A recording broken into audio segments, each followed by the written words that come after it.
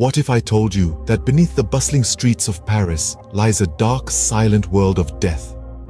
Imagine a labyrinth, a vast network of tunnels and chambers, winding beneath the city of love. This is no mere construction, but a subterranean ossuary, the final resting place for the remains of millions.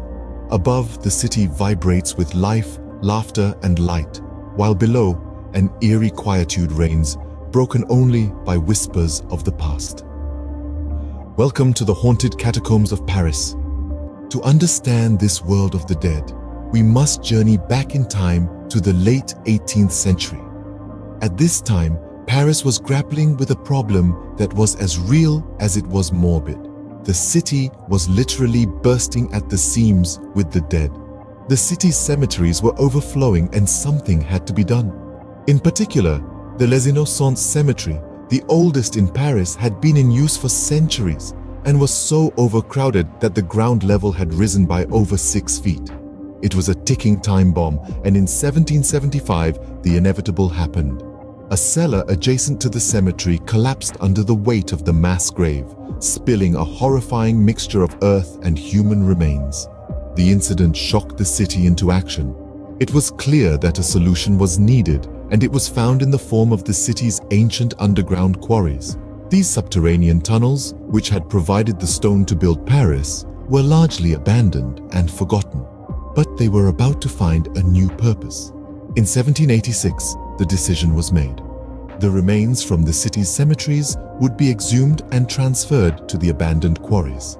The process was slow and painstaking, often carried out at night to avoid distressing the city's inhabitants. It was a monumental task, taking over 12 years to complete. The bones were not simply dumped in the quarries, but arranged in a macabre display that served both as a reminder of mortality and a testament to the practicality of the solution. Skulls and femurs were stacked into walls, with other bones filling the spaces behind. The result was a labyrinth of tunnels lined with the remains of the city's dead. Thus, the catacombs were born, a solution as practical as it was macabre. From a city struggling to accommodate its dead, Paris had created a subterranean city of bones, a chilling monument to the realities of life and death. And so began the story of the catacombs, the world beneath the streets, a world that continues to fascinate and horrify us to this day. Over the years, these abandoned mine tunnels transformed into a city of bones, Indeed, the catacombs of Paris didn't become the chilling ossuary we know today overnight.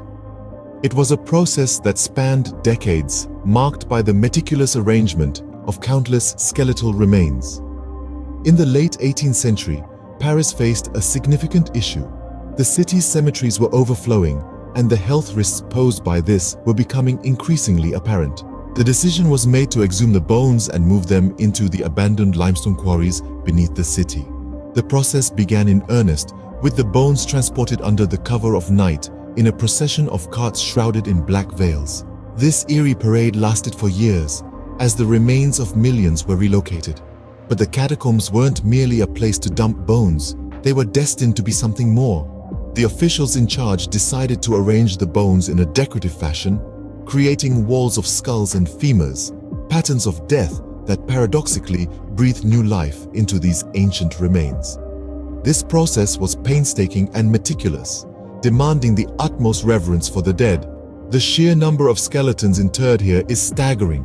It's estimated that the bones of over 6 million people rest in these catacombs. To put that into perspective, that's almost three times the current population of Paris. This subterranean city of bones stretches over 200 miles, a silent testament to the vastness of human mortality. Over time, the catacombs evolved. They became more than just an ossuary. They became a monument, an eerie reflection of our own mortality. They serve as a stark reminder of the fleeting nature of life and the inevitability of death. And so, the catacombs became a silent witness to the past, a monument to the transience of life. They stand as a testament to the cycle of life and death, a physical manifestation of the passage of time and a chilling reminder that we are all, in the end, just bones beneath the earth. Fast forward to the present day, and the catacombs have evolved into something more. What was once a solution to a public health crisis, an underground ossuary that holds the remains of millions, has now become an eerie attraction for those with a taste for the macabre.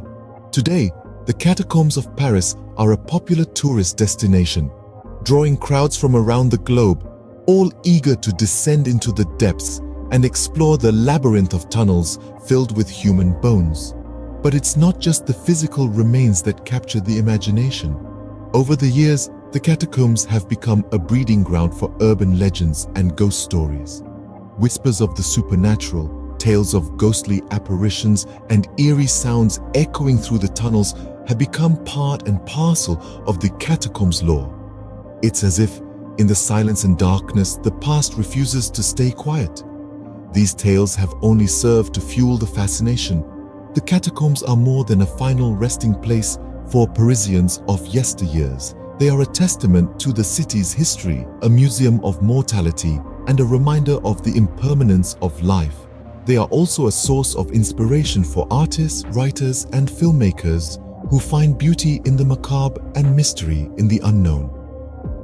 In recent years, the catacombs have also become a playground for urban explorers, known as cataphiles, who venture off the official tour paths to explore the lesser-known parts of this vast underground network.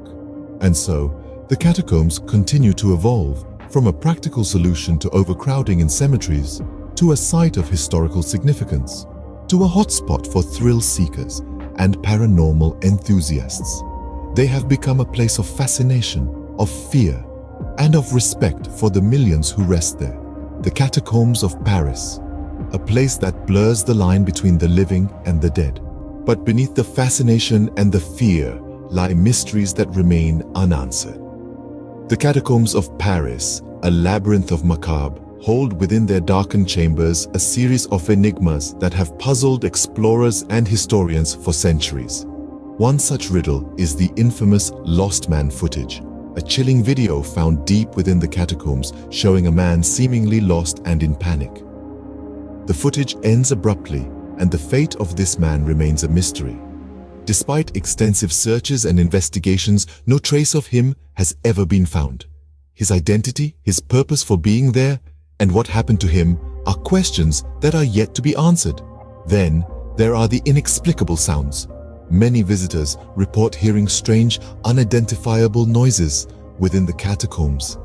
Some describe it as a low, constant hum, others as soft whispers echoing off the walls, and yet others as the distant clatter of bones. These sounds, often heard in parts of the catacombs far from any known exit, have no plausible explanation. Are they the result of natural phenomena, the echoes of the city above, or something more sinister? We may never know. There's also a myriad of unexplained phenomena that have been reported over the years. From ghost sightings and inexplicable cold spots to the feeling of being watched or followed, the catacombs continue to be a hotbed for paranormal activity. Skeptics may dismiss these as mere illusions or tricks of the mind, but for those who've experienced them firsthand, they are as real as the bones that line the catacombs' walls. As we emerge from the darkness of the catacombs, we leave behind a world that continues to haunt and intrigue. A world that, despite all our advancements and understanding, still holds on to its secrets, refusing to yield them to the light of day. The catacombs of Paris, a silent testament to our past, continue to be a source of unending fascination, fear, and mystery. So what secrets do the catacombs hold that we are yet to uncover? We've delved deep into the tunnels, traced the history back to its roots, and shed light on its transformation into a veritable city of bones. The catacombs today continue to draw intrigue, their unanswered mysteries inspiring both fascination and fear. Yet despite our best efforts to unravel them, the catacombs remain shrouded in enigma. Perhaps the catacombs are a reminder that no matter how much we learn, some mysteries are better left buried.